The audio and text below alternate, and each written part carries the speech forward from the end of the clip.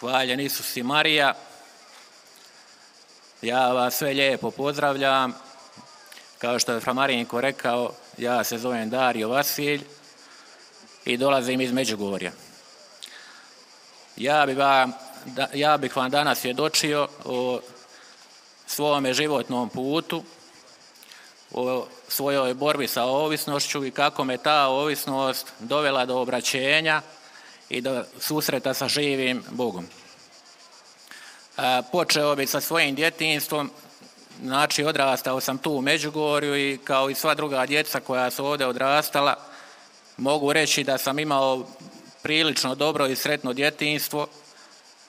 Moji roditelji su nastojali da mi osiguraju sve što mi je potrebno bilo, kako meni, tako i mojoj braći, mom bratu i sestrama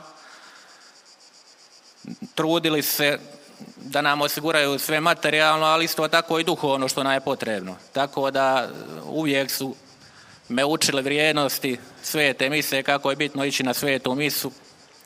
Ja sam ministrirao dugo vremena tu u Međugorju i tako sam odrastao i došle su tinejdžerske godine. Bio sam dobar učenik, odličan učenik u školi, ali sam primijetio E, jedna stvar mi je malo tada bila smetala, bio sam dosta sramežljiv. Zatvoren i teško mi je bilo e, dijeliti nešto sa drugim osobama, svoje poteškoće, probleme kojih je svak imao, ja sam jednostavno to držao u sebi. I nisam tada tome puno predavao pažnje. Onda nakon toga došla je 18. godina i vrijeme kada sam se odlučio, morao odlučiti da odaberem fakultet gdje ću studirati. I u dogovoru sa svojim roditeljima odlučili smo da idemo u Dubrovnik, u, Hrvatsku. Kada sam otišao u Dubrovnik, to je bio početak, ajmo reći, možda pravog života. Prvi put da sam se odvojio od obitelji, da sam živio sam, da sam morao rješavati probleme koje, koje sam imao. Počeli su tada i prvi ozbiljni izlasi sa društvom i ponovo, sam, ponovo se tada javila, javio taj problem zatvorenosti. Gledao sam druge prijatelje oko sebe koji nisu imali tih problema i možda sam bio čak malo i ljubomoran na njih, kako su oni tako slobodni, kako mogu slobodno razgovarati, prilaziti drugim osobama. Dosta se u društvu i pilo tako da sam i ja počeo pomalo piti alkohol. Nije to ništa bilo previše, ali da me malo oslobodi, da, da jednostavno skupim hrabrosti, da se riješim možda te svoje zatvorenosti. Izgovorio sam sam sebi, pa svi piju, pa mogu i ja. Nakon toga počela se puštiti isto tako u društvu i marihuana. I opet ista misao, pa dobro, to ništa nije strašno, to svi rade, pa mogu i ja, neće mi to naškoditi. Ja sam tako, kroz tu, tako išao kroz studij, nisam, nije, nije se nikakva ovisnost tada razvila. Uspio sam završiti fakultet, vratio sam se tu u Međugorje, ali kada sam se vratio, jednostavno osjećao sam u sebi neku prazninu, kao, kao da sam skočio iz djetinstva, a već sam bio u odrasloj dobi. Nisam jednostavno znao kako, kako da, da se nosim sa, sa tom situacijom. E, nastavio sam i dalje izlaziti i, i, primijetio sam, iako nisam razvio tu u sebi neku ovisnost dok sam studirao, Ostavilo je to ipak posljedice na mene. Tu jednu duhovnu prazninu koju ništa nije moglo ispuniti. I tako dok sam jedna, jedne večeri bio vani u društvu sa prijateljima, dogodilo se to da, pa ne znam je li to bio, pa možda najveći pad u životu koji mi se ikada dogodio, sigurno je najveći. Uh, jedan od prijatelja je ima uza se heroin, to je ponudio svima i ja sam opet isto rekao, pa dobro, ja sam već probao alkohol, probao marihuanu, mogu i to probati, ništa, ništa mi se loše od toga neće dogoditi, ja to mogu kontrolirati. Međutim, tu više nije bilo nikakve kontrole, znači to, to je mene potpuno preuzelo, više nisam vladao sa sobom, trajalo je to sigurno nekoliko godina taj period i upao sam u ovisnost, nisam se jednostavno mogao izvući. I dalje sam bio zatvoren u sebe, čak me ta, ta ovisnost još više zatvarala u sebe, povlačio sam se još više u sebe. Ne daj Bože reći nekom da ja imam taj problem. Uvijek sam mislio riješću se sam toga, a to je sad takav period, uspjet ja to sam. Međutim, nikad nijedan ovisnik sam nije uspio se izvući svoje ovisnosti. To ja ne znam nikoga. Tako da nisam ni ja. I kao što sam rekao, nisam nikome to govorio osim tamo gdje, gdje u društvu gdje se nalazio normalno. Mi smo to o tome pričali sa ljudima koji su isto to uzimali. I sjećam se, imao sam, tada sam i radio, bio imao sam solidan posao, radio sam u banci i nisam jednostavno više uspijevao, nemoguće je bilo uskladiti posao i, i, ta ovisnost me sve više uništavala. Tako da sam ja došao jedne večeri doma, legao sam u krevet i prvi put, znači nisam mogao moliti u tome periodu, stvarno nije bilo moguće moliti, ali sam zavapio to je baš bio jedan vapa iz srca našoj gospi Međugorskoj. Pomozi mi, ja više ne mogu ovako. Ili me uzmi sebi, ili nađi neki način da mi pomogneš.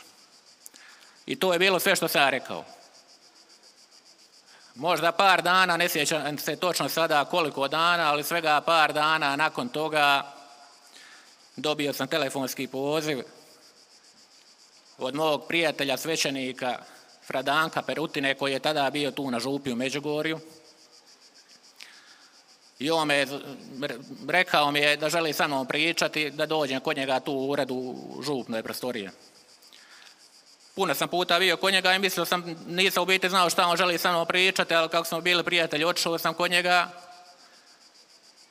i s njim je bio fra Svetozar Kraljević. Inače, on, taj svećenik je tada tu župi e, bio u zajednici Milosrdni otac i radio je sa ovisnicima. Ja kada sam njega vidio, ja sam znao zbog čega su oni mene zvali. Oni su odmah meni rekli da znaju da imam problem, da znaju da sam ovisan i da su tu da mi pomognu. Ja sam na početku naravno to negirao, lagao, to nisam ja, vi ste mene zamijenili s nekim. Ali ipak nakon nekoliko minuta razgovora s njima priznao sam da imam problem. Nisam više jednostavno, tražio sam nekoga kome to mogu reći, da olakšam sam sebi i uz njihovu pomoć odlučili smo to priopćiti mojim roditeljima, mom ocu. I sjećam se dok smo, to, dok smo bili u toj prostoriji, do, oni su govorili, ja sam šutio. Fra Svetozar je, ja sam još uvijek želio riješiti to neki, na neki čarobni način. Znači nisam tražio od gospe da ona meni pomogne pa da ja sad idem na liječenje. Već jednostavno da makne čarobnim štapićom i da ja budem izliječen. To je nekako bila moja zamisao. I tako sam s njima pričao da ja to mogu sam, oni su me saslušali. Fra Svetozar je pitao sve njih šta oni misle o tome, pitao je mene. Na kraju je on duboko udahnuo, zatvorio oči i onda me na kraju pogledao i rekao Dario, pokora se mora platiti. Kad je on to rekao, ja vama ne mogu opisati, sjetim se i dan danas, naježim se ti, kad sjetim tih, tih njegovih riječi, kao da mi je sam Bog, kao da je sišao sam Bog u njega i to izgovorio. Prvi put sam tako nešto u životu doživio. I u meni se jednostavno sve slomilo. Vidio sam sebe u biti kako sam jadan, kako sam grešan, kako sam u biti nikakav, kako je moj život koji sam živio do tada, imao sam tada 31 godinu čisti promašaj. I odlučio sam biti poslušan. Tada sam rekao, ok, ja ću napraviti sve što vi od mene tražite. U dogovoru sa svojim roditeljima i uz potporu naravno Fradanke i Fra Svetozara, odlučili smo se da ja idem na liječenje u zajednicu Čenakolo. Krenuo sam na radne dane, tu u Međugorima, kuća. I naravno trebao sam se malo upoznati sa tim životom tamo jer taj život je nešto potpuno drugačije od onoga što mi živimo vani. E, vrlo brzo ti momci, možda nakon desetak dana, su rekli da sam ja spreman da uđem u jednu kuću. Ja sam isto tako želio što prije otići iz Međugorja jer sam osjećao veliki sram prema drugim ljudima zbog toga što sam bio. I ušao sam u Čenakolo 11.10.2011. godine, znači skoro prije 8 godina. Zna, e, ušao sam svega nekih 20 dana nakon mog vapaja našoj gospi Međugorskoj. Ona je znači za 20 dana već reagirala i otvorila mi put izlječenja. Ali nije sve tako bilo jednostavno. Znači ja kad sam ušao, to vam je, došao sam znači u, jednu kuću u Istri u Hrvatskoj, u Novigradu, ostavili su me tamo i meni je jednostavno tada izgledalo kao da je moj život uništen, da ja više nemam ništa. Sve sam izgubio. Živa katastrofa. Bio sam depresivan, tužan, nisam mogao prihvatiti sam sebe da sam tako nisko pao u životu, da sam poražen. U biti to je poraz. Znači, biti ovisnik, priznat da si ovisnik, otići na liječenje, to vam je poraz, najveći poraz. Ali nakon par dana uz pomoć momaka koji su tamo bili, došao sam sebi i odlučio sam, odlučio sam, pribrao sam se i odlučio sam se boriti. A ta borba je krenula molitvom. Znači prvo što mi je jedino što sam tada imao je bila molitva. Inače zajednica će nakolo vam je mjesto koje je natopljeno molitvom, mjesto gdje se mole tri krunice dnevno, tri puta tjedno ima sveta misa, svakodnevna klanjanja ujutro i navečer. Ja sam tako krenuo moliti i iz početka je to bila jedna velika borba, jer svo to zlo, nije tu samo bila u pitanju ovisnost, već sve drugo loše što se ja pokupio iz ovoga svijeta u kojem mi živimo, to se sudarilo sa dobrom koje, kad je Bog otvorio moje srce za molitvu, koje je ulazilo u moje srce. I to je baš teško bilo izdržati, to čišćenje zla. Teški su to trenuci bili i ta borba je trajala sigurno jednu, jednu godinu. Nakon te godine nekako počelo mi je biti lakše. Prebačen sam isto tako u jednu drugu kuću i Zavolio sam u biti molitvu, a znate šta je najzanimljivije u svemu tome? Ja prije, prije nakola nisam, nisam molio krunicu, nisam, čuo sam za pet kamenova koje je nama gospa svima nama ostavila tu u Međugorju, ali nisam to prakticirao. Nikad nisam postio na klanjanju, sam bio svega par puta, na misi više tradicionalno. Nisam čitao sve to pismo, ispovjedao sam jednom godišnje, a možda ni tada, nisam se prečešćivao, a nakolo se temelji na svemu tome. Znači, naša gospa je mene poslala iz Međugorja skroz u Istru, skoro u Italiju, da bi me naučila u svojoj školi života od tih pet kamenova. Ja sam to sve prakticirao, a da nisam bio u biti ni svjestan šta naša gospa radi od moga srca. Tek sam to naknadno u biti shvatio e, kako je ona mene kroz tu školu vodila. u ovoj drugoj kući kada sam e, premješten, znači kao što sam rekao već je bilo dosta lakše i zavolio sam molitvu. Ja sam u biti samo čekao kad ću na klanjanje. Do tada sam volio gledati nogomet najviše na svijetu. A tu ljubav prema nogometu je zamijenilo klanjanje, sveta misa, znači sve drugo mi se maknulo. E, čudio sam sam sebi tim svojim osjećajima i za vrijeme klanjanja ja sam doživio znači dosta lijepih osjećaja i, i ja sam u jednom trenutku mislio da me Bog zove stvarno sam mislio da me zove za svećenika tolika Božja prisutnost ispunjeno srce Božjom ljubavi malo me bilo strah jer nisam, nisam nikad mislio da ću ja biti svećenik uvijek sam želio obitelj, djecu ali sam ipak imao hrabrost i otišao sam u kapelu i rekao sam pred presvetim, pred našim gospodinom, ok, ako je to tvoja volja, ja ću poslušati. Ali ipak ću malo moliti da mi nađeš ženu. To sam ostavio negdje u prikrajku svoga srca. Znači nije baš bila do kraja Božja volja, ali dobro, trudio sam se. I nevjerovatno kako je Bog odgovorio u vrlo brzo nakon toga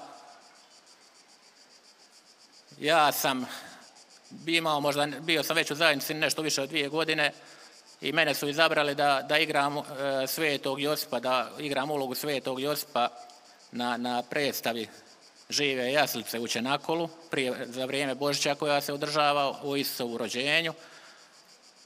I djevojka koja je izabrana od svih djevojaka, to je bilo kraj Zadra u Hrvatskoj, koji je dosta velik grad, koja je došla u liku Marije, ona je danas moja žena.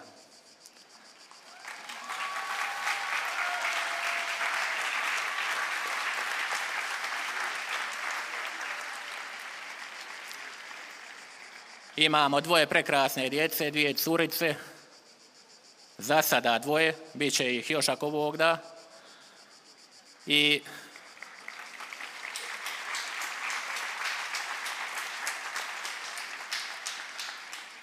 Ja sam u zajednici nakon toga našeg upoznavanja ostao možda još jednu godinu, sve skupa nešto više od tri godine. Izašao sam vani i evo samo ću vam reći, Bog mi je sve otvorio, dobio sam posao, znači oženio se te iste godine na kraju godine. A danas ja ne mogu zamisliti svoj život bez Međugorja. Prvo i najbitnije je sveta misa. Znači meni svaki dan počinje sa svetom misom u našoj župnoj crkvi. To je jednostavno za mene najvažniji događaj u danu.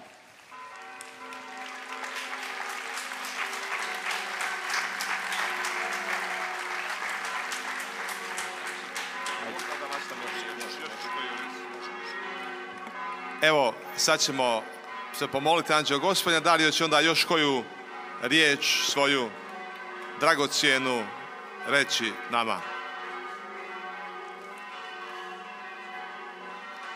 U ime Oca i Sina i Duha Svetoga. Anđeo gospodnji navijestio Mariji.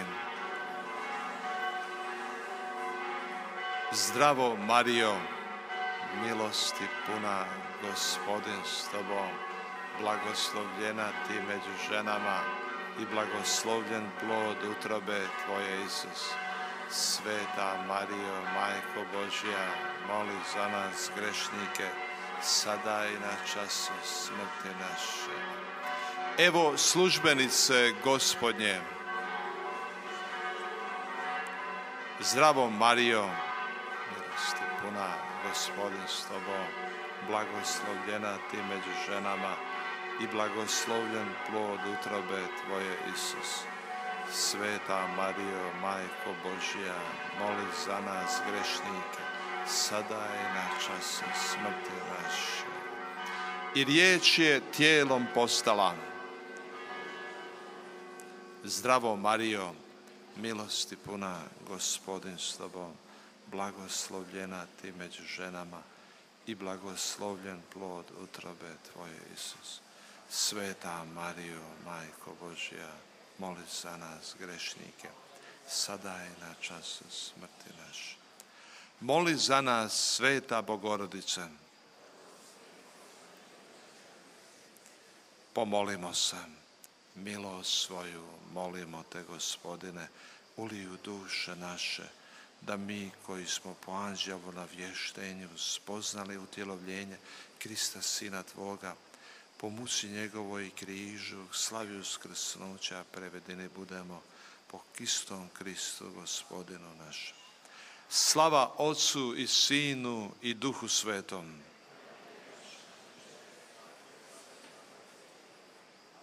Slava Otcu i Sinu i Duhu Svetom.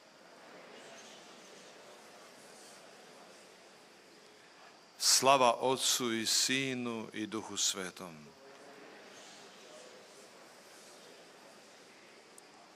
Za naše pokojne, pokoj vječni daruj im gospodine. Počivali u miru Božjem. U ime Otca i Sina i Duha Svetoga.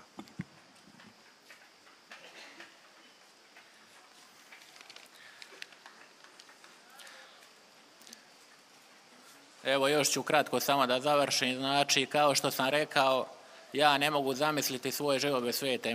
To je, hvala Bogu da mi je dao tu milost da to mogu osjetiti i vidjeti i doživjeti da, da stvarno nebo silazi na zemlju, nebo se dodiruje sa zemljom. Naš gospodin pod prilikama kruha i vina nam se daruje. I kako ja da ne idem svaki dan i da ne budem prisutan svaki dan, kad, kad on se za sve nas tako daje. I na kraju dao je svoj život za sve nas. To vam možda mogu na jednom primjeru najbolje objasniti dok sam isto imao jedno malo osvjedočanstvo.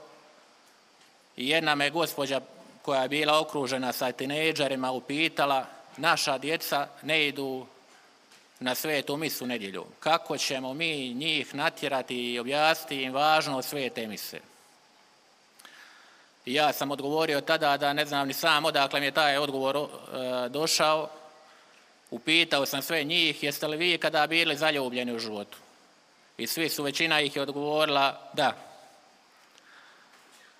Onda sam ja rekao i pitao, pa dobro, kad ste zaljubljeni, koliko često vi želite vidjeti osobu koju volite.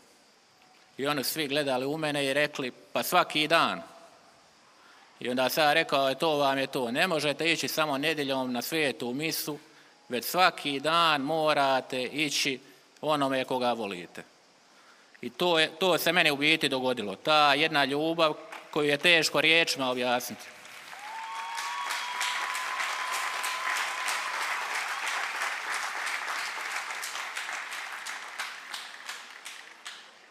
I evo samo još jedna stvar, znači ja kad sam ušao u Čenakolo, stvarno sam bio fizički uništen, psihički još više i nije bilo tog doktora na svijetu, ni lijeka, ni tablete, ni neke čarobne pilule koja je meni mogla pomoći. Čak što više moglo mi je to još gore učiniti. Ništa mi znači nije pomoglo osim naše gospe, i njezinog puta za mene i našeg dragog gospodina. Samo to mi je pomoglo i evo završit ću s tim da možda jedan mali savjet vama dati. Sad kad odete iz Međugorja, naša gospa kaže da se krunicom mogu ratovi zaustaviti. Krunica je besplatna, ništa ne košta. Uvijek je možete moliti bilo kad ste na putu, na poslu, u autu, doma. Samo je uzmete i krenete moliti. A vjerujte mi, nema jače oružja od molitve krunice. Stvarno, to vam iz svog primjera mogu reći. Ono što gospa godinama govori, molite krunicu. Mene je iz temelja promijenilo. Čita moj život i mijenja ljude u mojoj obitelji, ljude u mom okruženju. I evo to vam je moj prijateljski savjet. Molite krunicu svaki dan i budite uporni. Promijenit će vam živote. Hvala vam.